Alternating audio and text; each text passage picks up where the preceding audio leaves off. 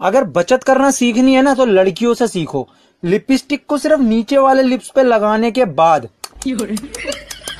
नीचे से कॉपी करके ऊपर पेस्ट करने का जो टैलेंट है ना अल्टीमेट है भाई।